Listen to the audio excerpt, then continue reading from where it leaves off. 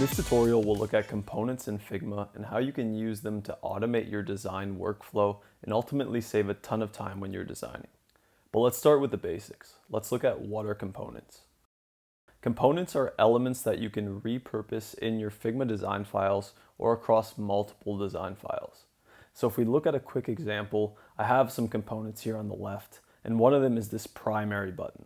So this is what's known as the main component. And then here on the right in the actual designs, I have what's called instances of the main component that appear here, here, and here. And you can think of the relationship of main component to instances almost like a parent-child relationship. So all of these instances are linked to the main component and share similar styles. And here's where components get really useful. So imagine I want to change the appearance of this primary button. Instead of going in each screen and changing the style one by one, what I can do is just change the main component here. So I'll actually add a stroke to it, change that to white, remove the fill, and then change the text to white as well. And as you can see, those changes rippled across all of the different instances. And this will save you a ton of time when you're designing because again, you don't have to go in one by one and change each button style. And also it keeps your designs more consistent because as you're designing, you don't need to kind of start from scratch and design that button over and over again, which could lead to inconsistencies. So let's look at how to create a component.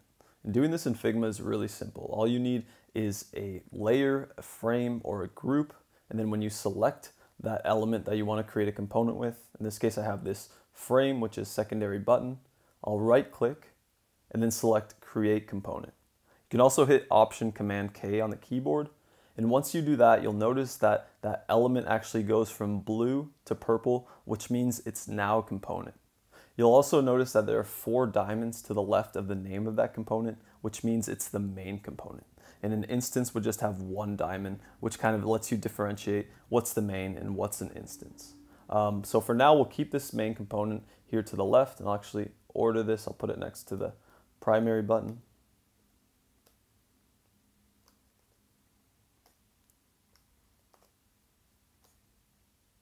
And now we're ready to start creating instances. So once you create a component, the way to actually use it in your designs is by creating instances. And just like I mentioned before, instances are effectively children of that main component that share the exactly the same style. So to create instances in this file, what I'll do is get rid of these buttons here, and then we'll swap them out for instances of this secondary button component. And the way that I typically do that is by holding Option on the keyboard, selecting this component here, and then dragging that over into the actual designs. And what that does is create an instance or a duplicate of that component. And the way that you can tell it's an instance and not the actual main component is by looking at this layer panel here on the left, and you'll just see an empty diamond next to the layer name. And the difference here is if I click on the main component, you'll see four diamonds um, next to the actual layer name, which means it's the main component. Another way to create an instance is by pressing Command D. And this will essentially duplicate that layer. Now you have the main component and the instance right next to it. And then the last way is if you click on the Assets tab here in the left panel, you'll see that you'll have all your main components that exist in your file, and then you can just drag these into your designs as well. And this last way is especially helpful if you have a large design system with hundreds of different components. Um, you can actually search through all the components here and then drag them into your file as you need them. Um, so I'll add this one here to the design. And then by holding Option on the keyboard, I'll drag this final secondary button into this screen, change the width of that, and then we can actually change the text on these buttons as well. So add to order, learn more, and order now.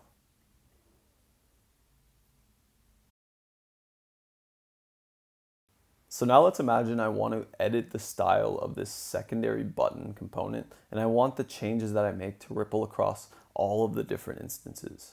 What I can do is go to my main component. And by the way, if you're having a hard time finding your main component, um, which can happen a lot as you're designing and creating components, they might get lost in your file.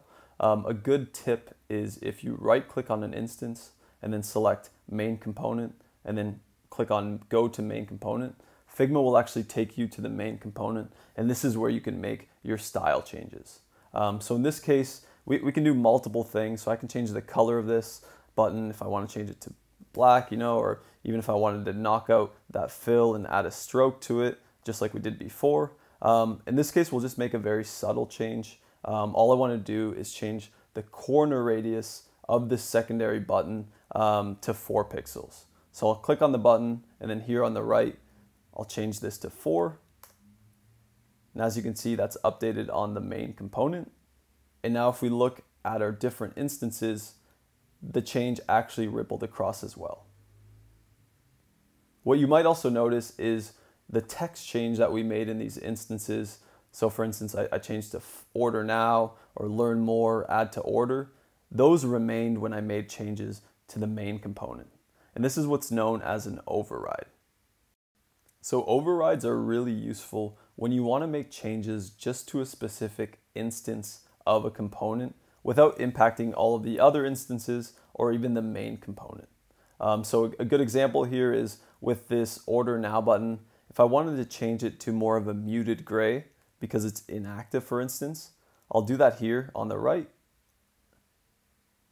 And then you'll notice that the changes only impacted this specific instance. So they didn't ripple across these two buttons here or that main component. And again, this is really helpful if you just want an ad hoc version of your component, but you don't want to make changes to all of the other ones. There might also be times where you want to create an entirely new component, but you don't want to start from scratch and you just want to reuse one of your existing instances or components to create that new component. So a good example here is, imagine I want to create a third button style that's an inactive button, and I, I just want to use this instance here. Um, so I've already changed the style to a lighter gray, which looks different than the other two styles. Um, and what I can actually do is right click on that instance and select detached instance. And this essentially breaks the link from the main component. So these are no longer linked. And now I can actually just use this element here to create an entirely new component. So I'll right click, select create component, and then we'll change the name of that to inactive button. And then I'll drag this over into my component library here. Just move these down.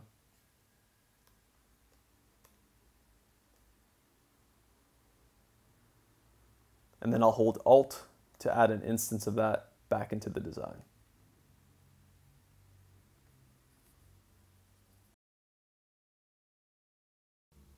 So another great thing about components is that once you have a few in your Figma file, you can actually swap out instances.